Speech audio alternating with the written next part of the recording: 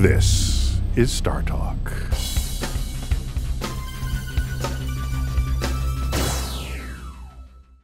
This is from Nancy Lilling on Facebook, who wants to know. Uh, Do, do we know where they're from? I love knowing where they're from. Um, no? let me see here. Some of them say, Okay. a lot of them say not. Okay. I- Okay. If you write in, I always like knowing where you're from. Yeah, just remember that because from. That way Chuck can make fun of your hometown. that, that's absolutely That's what comedians do, That's right? what we do.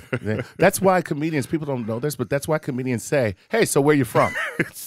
you know that, and the fact that I am out of material. How's that what it, Those are that's code for I'm out of material. code for I am done with material, or my material is not working. So hey, where you from?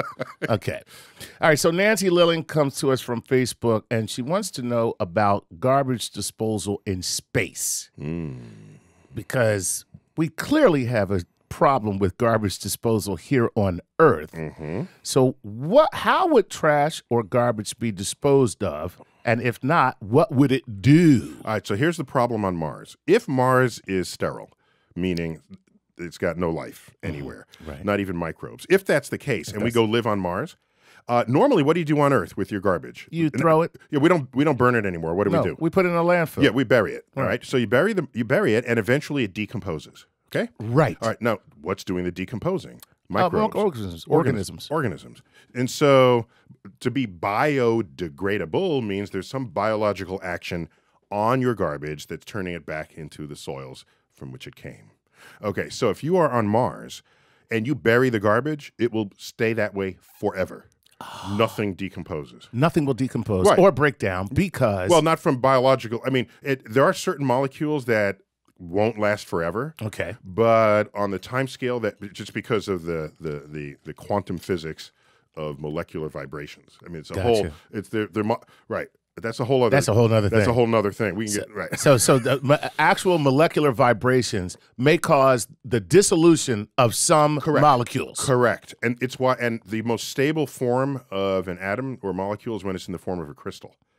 Right. that's stable, and then it's not going to. It, it That's why diamonds are forever. Chuck picked up on that.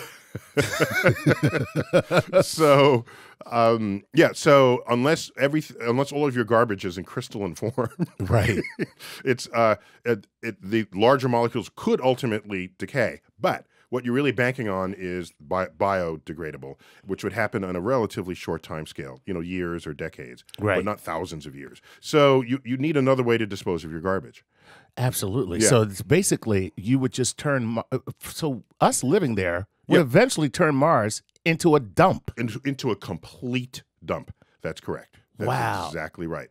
And and and what does it mean for there to be fertilizer in the ground? It means you know there are microbes interacting. You'd have to create a whole biota Right. there, and you'd have to terraform Mars in advance before you Before you could actually do that. Yeah, yeah, that's why. Or you could just dump your stuff on Pluto. It's not even a planet anymore, right? So we just take our trash from Mars and sh- shoot it to Pluto. Keep dumping on Pluto. Just dump on Pluto. Now here's uh, now you might ask. I don't know if they did, but you could ask why not just send all the garbage to the sun? That, that'd Okay. be the ideal disposal. Now, I can't believe you just said that. Why? Because when I was a kid, Yeah. and I was very disturbed by the commercials that I saw where there was an Indian who shed one single tear for all the trash that was polluting our earth. I remember that commercial. Yes, and I would get Well, so polluting the United States. No, right, There's exactly. Because right, There, the there are no Indians- Indians except for in India, but they're different Indians. and back then, not that we're being uh, insensitive, back then the concept of Native American didn't quite kick in yet. No, not at all. There was an Indian guy with a headdress, Right. And he And- saw humans, uh, Amer- Americans, gringos, Gringos, right. gringos throwing garbage out their window, and then the, he turned. He would the turn to camera, camera, and it was a tear. right? Just one single tear streaming down his his face. I remember that. his non-Indian actor face. Is that what it was? No. Basically, yeah. No, was it? Yeah, he wasn't an Indian. That guy was Arnold Italian. That guy was Italian. No, don't I'm tell not- me that. I'm not lying. I saw a whole like little a mini documentary on how he was not an Indian. Not even Indian. or, or Native American. Native American, Not right. at all. He was an Italian guy that actually took on the entire persona. But anyway, I used to see that commercial and I would Wait, get, wait, wait, wait, wait, Go ahead. wait, wait, wait, wait. Go the, ahead. The, the the the Clint Eastwood movies uh, were all Italians, right? The Yes. spaghetti westerns Spaghetti westerns. playing, playing Mexicans. Playing Mexicans. So Italians, they got a thing going. Well, yeah, you know what it is because they're white enough to be white, but yet somehow olive enough to play somebody else. Okay, so because from from, from northern to southern Italy, exactly. you got the whole They spectrum. got the spectrum. right, And right so to the was- Mediterranean ones to the northern ones. I- I Exactly. so you know they Hollywood was just like, hmm, we can't actually use a Native American. Get me an Italian guy.